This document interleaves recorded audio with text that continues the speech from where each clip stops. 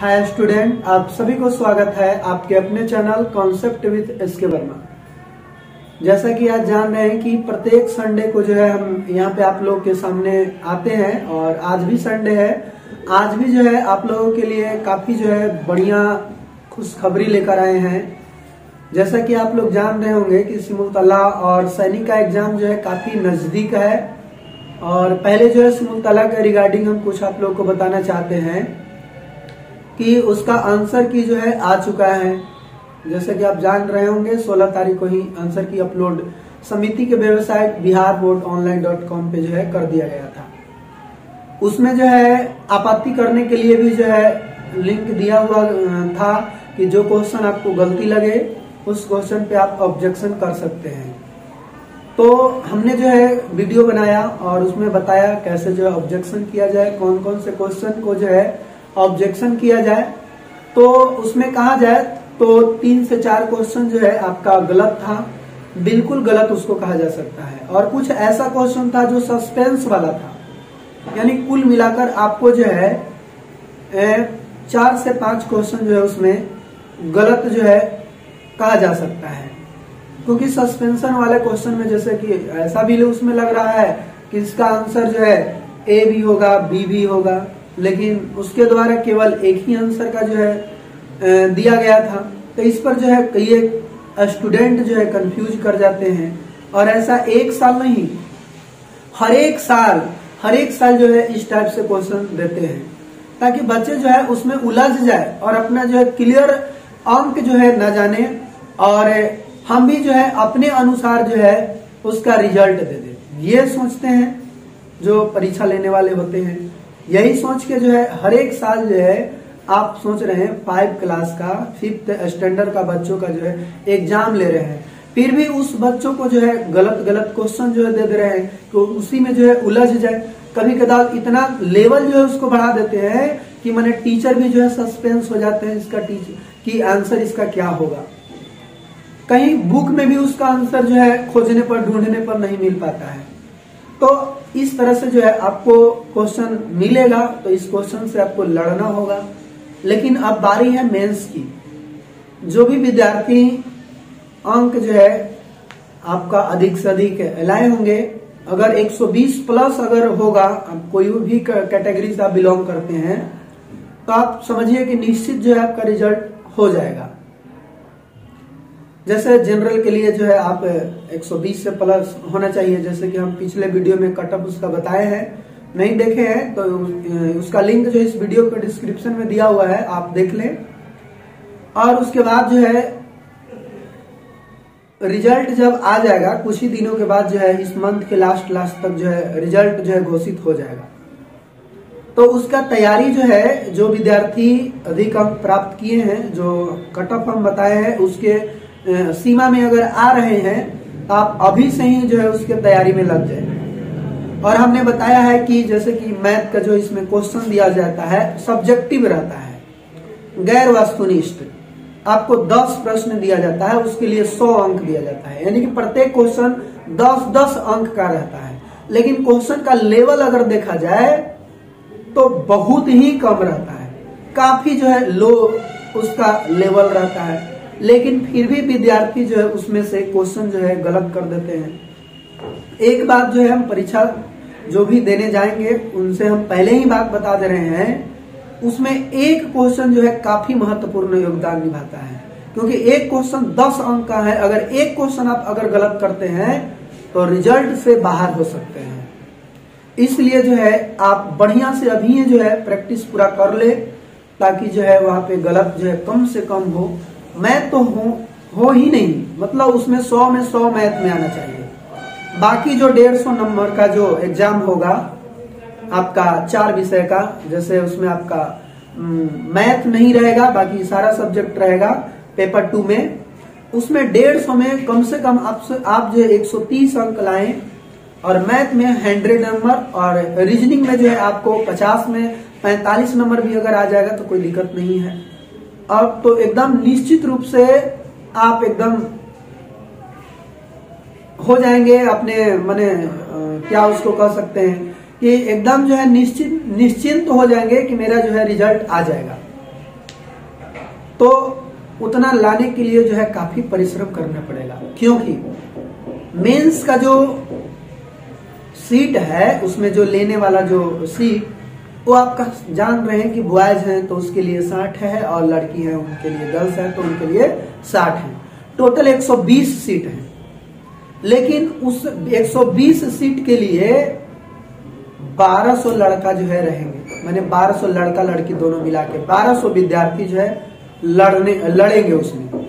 लेकिन ऐसा नहीं है कि आप 120 सीट में से एक सीट ले लेंगे। बल्कि आप बॉयज़ हैं तो 60 सीट में ही सोचे कि 160 सीट में जो है, हमको एक लेना है और 600 विद्यार्थियों के बीच कंपटीशन है। यानी आपको पाँच विद्यार्थियों को हराना होगा, तभी आप छठवां विद्यार्थी, आप एक सीट के लिए जो है अप्लीकेबल होंगे। इसीलिए जो है, समझिए कि हम अपने आसपास के छह विद्यार्थी को अगर हरा देंगे, तब जो है मेरा रिज़ल्ट जाकर होगा। क्योंकि अधिकांश बच्चों का जो है, पीटी में जो रिज़ल्ट आ जाता है तो काफ़ी खुश हो जाते हैं कि मेरा तो रिज़ल्ट आ गया। लेकिन ये जो है ना, एक तरह का कहा जाए तो बालू का दीवार बनाना है। यानी कि जो पीटी का जो रिज़ल्ट है, वह समझिए कि एक तरह से रेत का जो है दीवार बन गया है। और उस रेत का दीवार को ढाते जो है देरी नहीं लगेगा। तो इसलिए आप जो है, पहले से ही जो है, मज़बूत उस रेत में जो है सीमेंट मिलाकर जो है दीवार बनाए ईंट के साथ, ताकि वह गिरे ना। काफ़ी जो है मज़बूत साबित हो। और उसके लिए जो है रिज़ल्ट की इंतज़ार न करे, अभी से ही उसका तैयारी में लग जाए। मैथ जैसे कि बताए कि उसमें कैसे बनाना होगा से। काफ़ी जो है बढ़िया से आप बनाएँगे, आपको 10 में 10 अंक मिलेंगे। नहीं तो आप जैसे तैसे बना देंगे, कोई शॉर्ट तरीका, या ऐसे ही जो है केवल कैलकुलेशन करके आंसर लिख देंगे। तो उसमें जो है आपको अधिक अंक नहीं मिलने वाला है। उस 10 अंक में से जो है, बहुत अंक आपको काट लिए जाएँगे। लेकिन आप बढ़िया से जो है, कहा जो है, इसीलिए लिखना है, कहा चुकी लिखना है, उत्तर को कैसे लिखना है क्वेश्चन को स्टार्ट करेंगे तो क्वेश्चन नंबरिंग को कैसे जो है हम वहाँ पे व्यक्त करेंगे। दिया हुआ है क्वेश्चन में, वो कहाँ पे लिखेंगे, क्या ज्ञात करना है, वो कैसे लिखेंगे, सारा चीज़ जो है एक वीडियो के माध्यम से आप लोगों को बता दिए हैं। आप वहाँ से जो है उसको देख सकते हैं, उसका भी लिंक जो है डिस्क्रिप्शन में है, आप देख सकते हैं। और उसके बाद आप जब एग्ज़ाम देने जाएँगे तो निश्चित रूप से हम कह रहे हैं कि अगर आप अभी से ही अगर तैयारी में लगे रहेंगे तो आपका निश्चित एग्ज़ाम में जो है क्वेश्चन बनेगा और आप ही का रिज़ल्ट होगा। इसीलिए जो है, आप ऐसा ना सोचते रहे कि मेरा रिज़ल्ट अभी तो आएगा, तब न तैयारी करेंगे। कुछ लोग जो है, बहुते लोग तैयारी कर रहे हैं। तो समझिए कि वो आपको पीछे पछाड़ने वाले हैं। तो क्यों ना आप जो है, उसको पछाड़ने के लिए आप तैयारी में लग जाए। क्योंकि एक बात है, एकदम अंदर से इतना एनर्जी रहना चाहिए, कहा जाता है कि ना संघर्ष ना संघर्ष, ना तकलीफ़ तो क्या खाक मज़ा है जीने में? ना संघर्ष, ना तकलीफ़ तो क्या खाक मज़ा है जीने में? समुन्दर के लहर तक को भी रोक लेंगे जब आग लगी हो सीने में। यानी कि आपको सीने में जो है आग लगाना होगा।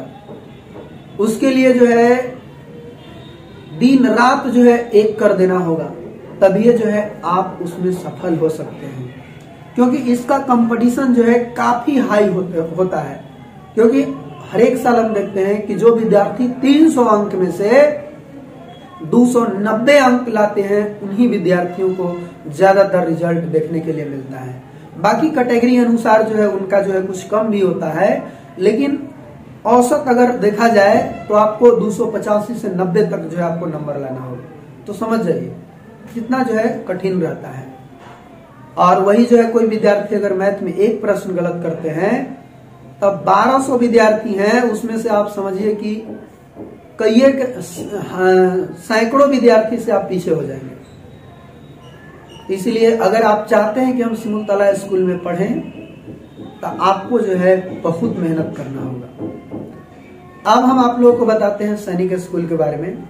तो सैनिक स्कूल का एडमिट कार्ड जो है, अभी तो नहीं आया है, लेकिन उस कहा एग्ज़ाम होगा, किस सिटी में एग्ज़ाम होगा वह सिटी जो है आपको बता रहा है तो आप जो है वहाँ पे application number date of birth और एक कैप्चा कोड होता है, उसको डालकर आप वहाँ पे अपना देख सकते हैं कि मेरा एग्ज़ाम सिटी जो है कहाँ है, कहाँ होने वाला है। और इस महीना के लास्ट तक ही जो है लास्ट पहले तक ही आपका एडमिट कार्ड भी सैनिक स्कूल का जारी कर दिया जाएगा और नौ तारीख का जैसे कि एग्ज़ाम है, आप एग्ज़ाम में भी बढ़िया करें तो जो लोग सैनिक का विद्यार्थी हैं उन लोग जो है, जो सिमुतल्ला में आप पढ़े हैं वही पढ़े हुए आप रहे, ज़्यादा पढ़ने के फेर में नहीं रहे, आप ज़्यादा अगर पढ़ने की कोशिश भी कुछ कर रहे हैं तो आप मैथ और रीजनिंग सॉरी रीजनिंग हाँ रीजनिंग और फिर ये जीके, ये तीन विषय को देखें। तीनों में से अगर कोई और कम को देखना है तो आप जीके को देखें और रीजनिंग को देखें। ये दो चीज़ आपको जो है, थोड़ा ज़्यादा रहता है। तो इसीलिए आप दो चीज़ को ज़्यादा तो नहीं पढ़े, और बाकी उसी को रहने दें। और एक प्रैक्टिस सेट है किरण प्रकाशन के, सैनिक स्कूल का किरण प्रकाशन का एक प्रैक्टिस सेट है, उसमें 25 प्रैक्टिस सेट दिए हुए हैं। वो काफ़ी बढ़िया है। आप उस प्रैक्टिस सेट को जो है, जो भी समय बचा हुआ, उस समय में जो है आप बना लें। आपका प्रैक्टिस के कारण जो है, समय का भी बचत होगा। क्वेश्चन किस टाइप के आएगा, उस लेवल का भी पता चलेगा। और आपको एग्ज़ाम में जो है नया नया जो क्वेश्चन आते हैं, उस क्वेश्चन जो है सेट में भी आएगा तो आप उसको हिस्सा लग जाएगा एक तरह से कि चलो इस तरह से सेट में तो हम नए नए क्वेश्चन को बनाने के लिए जो है जेल चुके हैं। इसको भी जो है, कैसे बनाना है, उसका आइडिया मिल जाएगा। इसलिए आप प्रैक्टिस सेट जो है, उसको खरीद कर आप ज़रूर से ज़रूर बनाए। उसका भी लिंक वीडियो के डिस्क्रिप्शन में दिया हुआ है, आप खरीद सकते हैं। तो आज इतना ही, फिर हम लोग मिलेंगे नेक्स्ट वीडियो में। तब तक के लिए जय हिंद।